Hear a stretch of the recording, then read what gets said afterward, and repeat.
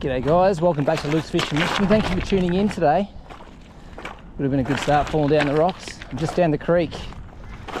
Gonna chase a few flathead today using the uh, ever faithful atomic prong plastic three inch. The light spin gear. The tide is running out pretty hard and um, I'm never usually here at this stage of the tide. I'm usually here much lower and fish the bottom. Last to run out, first to run in. Today, something a little bit different. Different stage of the tide. A lot more water than what I'm usually used to when I come here land-based. I'm just going to walk the edge of this bank here with a little three inch prawn, prong soft plastic. See if I can get a couple of flathead for dinner. I've also got a little popper on the other rod, so I'll probably change it up later on, see if I can get a whiting or a flathead on top water. Okay guys, I'm just walking the bank here, just covering as much ground as I can. Soft plastics on foot when you land base, just got to cover that ground. And I know flathead sit along this edge because I've caught them here. You've got rocks and cobbles and you've got plenty of sandbars just out from here. So there will be flathead through here everywhere. And the atomic prong, especially the little three inch one on the light gear, I'm using four to 10 pound samurai reaction, seven foot spin rod, 2500 egg beater, six pound braid and about 12 pound leader for these flathead today and I really wouldn't mind one for dinner. This is a spot I call the fridge. Whenever I want to fish for dinner, come here, it never lets me down. One eighth ounce on a 1-0 hook, and the little prawn, the little atomic prong, sinks down really naturally, nice and slow. You can just hop it off the bottom. But long casts are important. Cover as much ground as you can on your cast. Work it slow but cast long. It's a little sand spit straight in front of me here and it drops off both sides of it. If I was a flathead, I'd be sitting on that drop off, waiting for the uh, flow to bring food to me. There we go. Another flathead. Woo! Two fish in five minutes. Thing is with flathead fishing too is don't walk out too far, even though you want to get out there and cast a long way Fish could be just right up here in about 20 or 30 centimeters of water. I've commonly spooked flathead trying to do exactly that, walking out a far way so I can cast it even further. And then you spook the fish that are at your feet.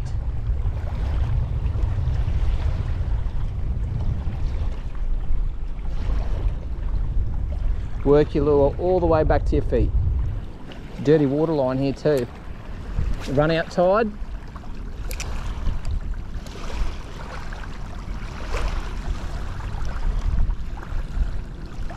nice and slow. Basically let it sink, cast it out, let it sink to the bottom, and then just do a little hop hop with your wrist, a little twitch of the wrist, get it hopping up off the bottom. Cast along the bank.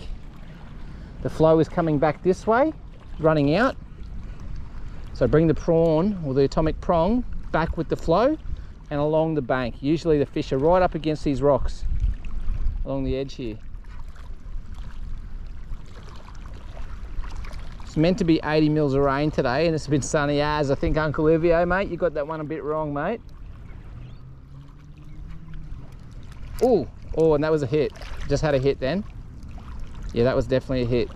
Cast it out, let it slowly sink down, and then give it the occasional twitch. Or a little bit of a double hop. So it just skips, skips off the bottom, sinks, skips, skips off the bottom, sinks. Bit of a pause when it's on the bottom too. I would love a flathead for dinner. I've got the whiting popper on too. So can you get a whiting on popper later as well when the sun goes down a bit. Little drain like this looks perfect. Flow still coming out, dirty water line coming out here into this sandy little bay. I reckon there'll be a couple of fish out here getting the bait. That's getting forced out of this little creek here, out of this little drain. Let's try it. Okay. Flicking them out that little drain now. See if there's anything lurking out there. Should be. Oh, yep, yep. There we go. Straight away. First cast in that drain. Goes to show. You look for the structure. Now it's only a tiny flathead. But the point of it is there's a drain here. Water's going out here into the sandy little bay. There's flow. There's bait coming off the flats here out into the main channel. Predators are lying in ambush waiting. Now only a small flathead like i said but there's nothing to say why there wouldn't be bigger fish here one little flathead and a little atomic prong. As i said tiny fish. But yeah wanted that little three inch prong. There should be some bigger ones let's see if we can get one of them. So camouflaged. See you buddy. Keep doing what you're doing. Grow big. Just goes to show you got to think like a fish. I was literally talking up this little drain on the outgoing tide. Said that hopefully would be a predator out here. And then first cast got one. Now tiny fish but that's not my point. My point is that's where your your predatory fish will be laying in ambush. So think like a fish. Fish those areas. Got outgoing water bait moving out here into this little delta. You got a tidal line and a dirty water line. There's going to be uh, predatory fish close by. Another fish. Second fish from that spot. It's a bit heavier swimming sideways head shakes like a good flathead.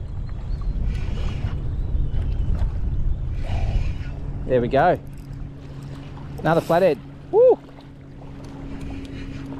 two fish in five minutes the same location. That's pretty cool. Just spat out a little bit of white bait. Spat that out little bait fish and just engulf that prawn now that's probably a good fish to keep. Perfect size not a big breeder and definitely legal but I've only been here 10 minutes. I'm not in any mood to go just yet and I'm still going to walk a fair way and I don't have an esky so this fish is going back. If I caught it with about half an hour to go I probably would have kept it but can go back this guy. Beautiful fish probably about 45 centimeters long. Just hoovered that little atomic prong down there that's pretty cool. All right mate. Take this out. Get you back. You get lucky fish you can go home. All right buddy. Your lucky day buddy. See you later. So camouflaged. Two fish on this one little location where I thought they would be. That's pretty cool.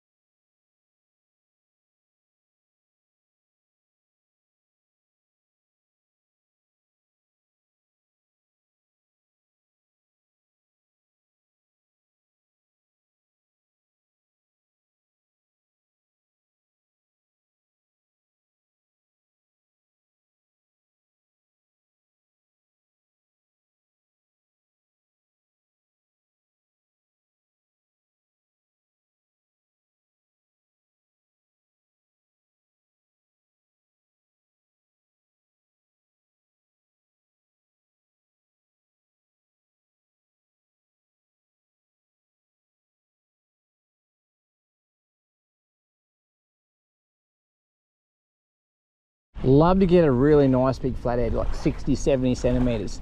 They are all through here. Just luck of the luck of the draw. It's a real lucky dip element. They can be here from 15 centimeters up to you know 80 centimeters long and bigger.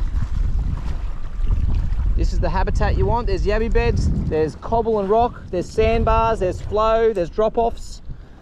Pretty much everything you need to find your flathead. There are bream and there are whiting here. We've even hooked barra here trevally, queenies, all land-based, you can always find a target species. You can always catch a good fish land-based. Those people who blame, you know, not having a boat as to why they don't catch fish, it's rubbish. Put the time in, use the right gear, the right lures, put yourself in the right spot, and you're a good a chance, if not a better chance, as anyone in a boat. When you're off the bank, you're actually bringing the lure back to you into the shallows. When you're in the boat, you cast into the shallows and bring it back into the deep. And then eventually your lure is gonna come up off the bottom to get to the boat. And I'm basically rolling it all the way along the bottom to my feet. So it's probably more of an advantage being land-based, my opinion. Particularly for flathead. Okay guys, I had a bit of fun. Got a couple of uh, flathead on the soft plastic prong. I'm gonna try the uh, Bassday Sugapen Splash now, 75 mil. See if I can get a whiting or flathead on top water here. I've had I've had great success with this lure on the whiting before at a different location. Quite a few little flathead as well. I haven't actually used this lure at this location before, but we know there's flathead here and hoping there's a few whiting here too. We'd love to get a whiting on top water this afternoon. Oh, yep, yep, yep, yep. Oh, I lost it. Oh, no, I still got it, I think. Oh, I lost it. Oh, what was that? Little GT, I reckon. Oh. Come again, mate. Come again. Oh, yeah. Oh. There's a little GT there. He had another go. Oh. Hooks are too small, I reckon. Oh. Bit of fun, come on. Stay hooked, mate. I'm winding it quick to excite these pelagics. Two hits and two casts from a GT.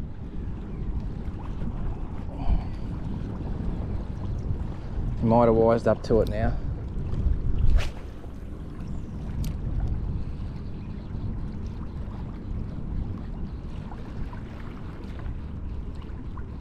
Oh, oh, behind it. Oh, come on. Still there. Guys, I'm so keen to get something on popper now. Had those hits from what I think were GTs, those hookups, they come off. Couple of hits. I'm really keen to try something on popper. The sun is going down in the background over there. It's getting a bit later. It's about five o'clock. So early morning, late afternoon lends its best time to top water. I just want to get something here on the Day Sugapen Splash. Whiting, flathead, GT, I don't care. Got two flathead on the plastic. Now I want something off the top. So I'm meandering this lure, walking the dog at about one twitch per quarter turn of my reel. And then I'm blooping it as well on other retrieves. I'm just mixing it up. I'm just keeping it consistently moving at the moment. I find that the fish can line it up better if it's consistently moving. They can like they can project where it's going to be. But when you're blooping and sometimes they go to strike where it is and you're blooping it away, they could miss it. So right now I'm just trying to tempt the strike. I'm doing whatever I can try and make that happen. Here we go. Something on top water here. Doesn't feel very big, but it's on surface. It's not very big at all. What is it? It's a whiting. There we go, it's a whiting. Awesome. I'm gonna put him back anyway, but it's pretty cool to get a whiting at this location. I have caught plenty of whiting on this lure, but not at this location. So it's really cool to get something off the top anyway and hooked on the little assist hooks as usual. Nice. There's one. So sharp. Cheers, mate. I've done quite a few videos now catching whiting on top water, but that was a different location. I'd never caught a whiting at this spot before. So it was just good to just good to get it done and just good to get something else on on lure this afternoon. Got the two flathead on plastic couple of hits from GTs on surface and then now the whiting on surface. So I've done quite a few videos, as I said, on whiting on surface and you know, this is 75 mil lure and that was probably like a 23, maybe just legal 24 centimeter whiting on a 75 mil lure. So they are vicious whiting. You do catch them on lures and you do catch them on larger lures and off the surface. Got something again, guys.